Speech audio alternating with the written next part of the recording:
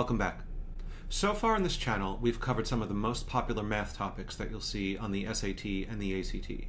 But now we're going to talk about the most popular one, systems of equations. That's not just hyperbole or silly clickbait. Leaf through any practice test and you're bound to see several of these questions in every single math section. That's because this topic can be tested in many different ways, from simple algebra to a complex word problem. So in this video, let's sort out all of these variations. Again, these questions are worth a lot of points on both the SAT and the ACT. So if you find this helpful, please subscribe to the channel, share this video, and destroy that like button. Go ahead, I'll wait. Hit the thumbs up, you got it? Thank you. Okay, let's get into systems of equations. We'll start easy and we'll get harder as we go.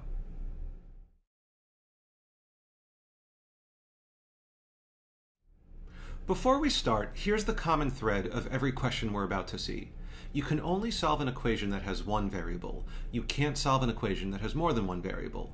For example, let's look at these two equations. On the left, 3a plus 6b is 18. You can't solve that because there are no like terms to combine. But on the right, 3a plus 6a is 18, you can solve because you have the same variable. That might sound like an obvious point, but it's an important one to emphasize.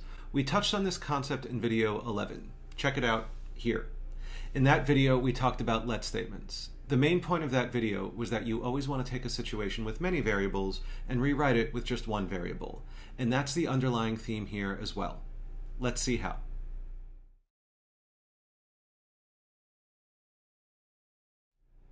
Let's start with this one. If y equals 3x minus 14 and y equals negative 2x plus 6, solve for x. Both of these equations are set equal to y. That means they have to equal each other. So you could say 3x minus 14 equals negative 2x plus 6. And then from there, combine like terms. Moving the x to the left would give 5x, and the 14 to the right would be 20. If 5x is 20, divide both sides by 5, x equals 4. So when you see two expressions set equal to the same term, such as y equals blah and y equals stuff, they have to equal each other. You're allowed to say blah equals stuff. Let's see how this comes up on a graph question. Find the points of intersection for y equals 4x minus 12 and y equals 3x minus 5. I'll give you a minute. Press pause, give it a shot. When they want the points of intersection, it means where the lines would touch. As long as both equations equal y, you could set them equal. 4x minus 12 equals 3x minus 5. From there, we can move the x's to the left, subtracting the 3x would give us x, and adding the 12, 7, x equals 7. Now, that's just the x coordinate, but they wanted the full point, so in order to get the y, we could take that x value of 7 and plug it in. You could use either equation, it doesn't matter. Let's use the first one. So in that first equation, y equals 4x minus 12, we can plug in the 7. 4 times 7 minus 12. That would be 28 minus 12, or 16. That's the y-coordinate. So the full point of intersection would be 7, 16. So this is one type of system. When two expressions are set equal to the same term, then you could set those expressions equal. Now let's make things a little harder.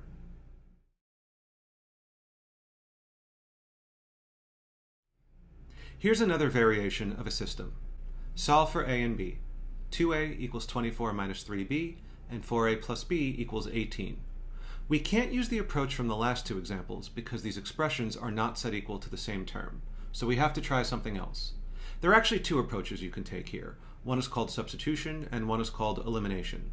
Let's start with substitution on two questions, and then we'll come back to it with elimination in a few minutes. The concept of substitution is that you want to isolate a variable. In the system above, which variable is the best one to isolate? The b.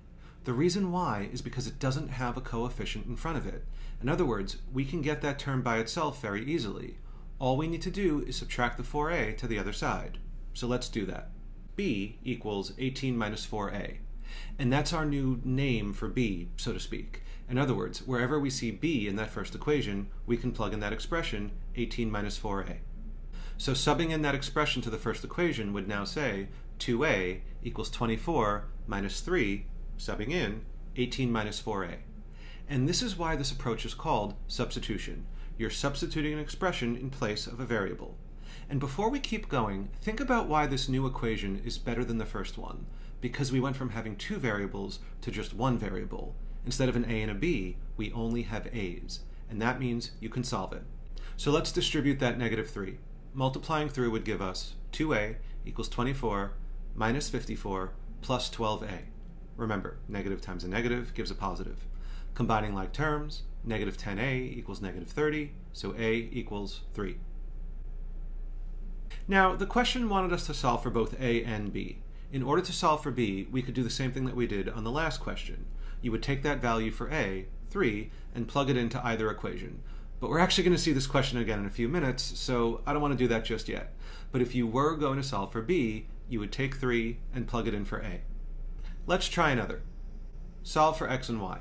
2x plus 3y is 6, and x plus 4y equals 13. I'll give you a minute. Press pause, give it a try. Again, the first thing you want to think about is which variable is the best one to isolate, the one without the coefficient.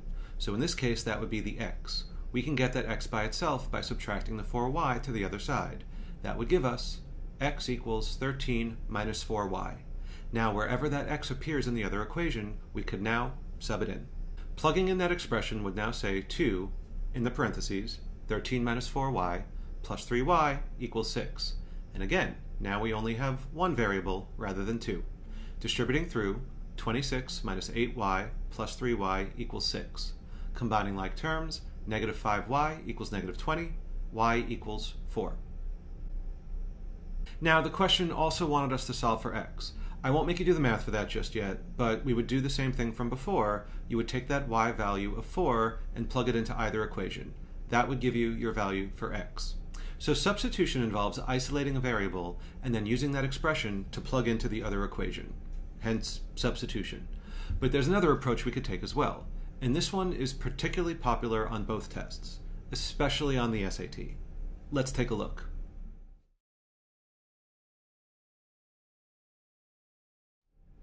Let's look at that same question from a moment ago, but instead of substitution, let's now try another approach. Again, solve for a and b, and here are the two equations.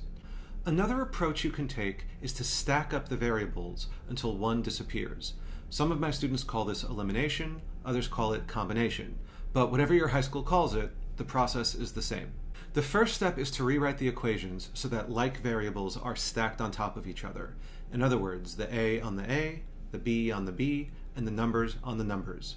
So we could do that by taking that negative 3b in the first equation and adding it to the other side. By doing that, here's how it would look. 2a plus 3b equals 24. And now we could write the other equation directly under that. And now we have the variables stacked on top of their partner. The next step is to make one of the variables disappear. And in order to do that, you need to make the coefficients the same. Now, you could do this with either variable. For purposes of this example, let's think about how we could eliminate the a terms. On top, we have a 2a, and on the bottom, we have a 4a. If we can get those coefficients to match, we could get the a terms to cancel out and we could do that by multiplying the first equation by 2. So multiplying the entire equation by 2 would give us 4a plus 6b equals 48, and writing the other equation under it would be 4a plus b equals 18. And look at what we have now, a 4a stacked on top of a 4a. That means if we subtracted down each column, the a terms would disappear. And that's what we're going for. We've gone from two variables to one variable. So let's subtract down each column. 4a minus 4a would cancel out. 6b minus b would give us 5b, and 48 minus 18 would give us 30. If 5b is 30, divide both sides by 5, b equals 6. Again, notice the main theme. We took a situation with many variables and rewrote it so that it only had one variable. And in order to do that, we needed to manipulate the equations so that the like terms were on top of each other, and then we got one of the coefficients to cancel out. Now in that previous example, we subtracted down the columns, but you don't always necessarily subtract, it depends. Let's look at two different examples. In the equations on the left here, notice that b and the negative b, the signs are already different. This means you'd actually be adding down the columns. Adding different signs would make the b terms cancel out. But on the right, we have a positive 4x and another positive 4x. That means we would subtract down the columns. So, add the equations when the signs are opposite and subtract the equations when the signs are the same. This is an extremely popular topic on both tests. Let's do another. Question 6, solve for x and y. This is the same question from before, but now I want to use elimination instead of substitution. Take a crack at this one without my help. Press pause, see if you could solve. You have the option to get rid of either variable. However, in this case, it's far easier to get rid of the x terms. We have an x and a 2x, so we can easily multiply that second equation by 2 so that the coefficients match. So let's do that. Multiplying the second equation by 2 would now give us 2x plus 8y equals 26. And look at what we have now. We have the equations stacked up, and both of the x terms have the same coefficient. We can get rid of them by subtracting. Subtracting down each column, 2x minus 2x would disappear. 3y minus 8y would be negative 5y, and 6 minus 26 is negative 20. So if negative 5y is negative 20, divide through by negative 5, y equals 4. So, just to recap, the theme of elimination is to stack up the variables and then get one of the coefficients to be the same. That way, you could make that variable disappear. Now let's kick it up a notch and make things a little harder on a word problem. Here's a harder variation of what we just saw. Question 7. Children and adults go on a museum field trip. Each child ticket costs $5 and each adult ticket costs $7. If a total of $534 was spent and 100 people went in total, how many children went? This question is a little harder because they're not telling you what the system is. You need to figure it out on your own. So I'll give you a second. Press pause and see if you could translate this word problem into a system. We saw this a lot in video 10 where we talked about widgets and how to translate a word problem into algebra. Check it out for more help, but I'll give you a hand with this one. Let's call the children C and the adults A. Why not? So incorporating the money, if each child ticket is $5 and each adult ticket is $7, that would be 5C plus 7A equals 534. That gives us the total cost. And now just an equation for the people, C plus A equals 100. The first equation represents the money that was spent, and the second equation represents the people.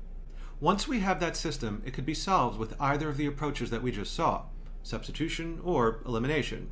You can use whichever approach you find easier. So I'll give you a minute. Press pause and use the approach that you prefer. Let's first solve with substitution, then we'll come back to elimination. Remember, the question is asking for children, so that means we want to get everything in terms of C, and in order to do that, we need to isolate A. So, looking at that second equation, we can isolate the A by subtracting the C from both sides. That would give us A equals 100 minus C and that's our new name for A, so to speak. We can use that and sub it into the first expression. So that would give us 5c plus 7, 100 minus c equals 534. From there, we can distribute and solve. 5c plus 700 minus 7c equals 534. Combine like terms, negative 2c equals negative 166, c is 83. Now, that was for those of you who preferred substitution, but elimination would also work. Let's see how. Going back to our original system, here it is. Remember with elimination, you want to start by stacking up the variables, which we've done. What comes next?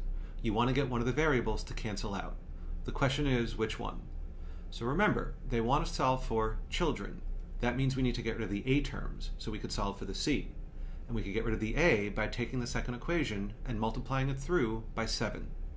Multiplying the second equation through by 7 would give us 7c plus 7a equals 700. And now, if we subtracted the equations, we could get the a terms to disappear. Subtracting down each column, 5c minus 7c would be negative 2c. Subtracting 7a minus 7a would cancel out. And then the final number would be negative 166. Divide through by the negative 2, c equals 83. So, it doesn't matter which approach you take. In both cases, we get that the children are 83. As long as you do your math correctly, you'll always get the same answer. So just to recap, in one type of system, you might see something like y equals blah and y equals stuff. That means those terms have to be equal, blah equals stuff. In another type of system, you use substitution. That's when you isolate a variable and you plug it into the other equation. Or, in elimination, also called combination, you stack up the variables and then from there you get one of the coefficients to be the same. And some of my students are even taught to approach these questions with a matrix, which you can. I personally don't want to overcomplicate things, but if you find that easier, go ahead. Any of the approaches above will get you the right answer. Now let's pretend that nothing from this video made sense to you. Well, I tried. but seriously, I do hope that you found these examples helpful. But if you're watching this now and even more confused than you were 10 minutes ago, then check out my video 9 here. In that video, we talked about how to cheat your way around these questions. Okay, it's not really cheating, but it's a great backdoor for how to handle these types of questions if you find the algebra too complicated. Check it out. But definitely keep practicing with systems of equations as well. It's a skill that you definitely need to have. You will see these types of questions on every single test. Thanks for watching. And remember, plan your work, work your plan.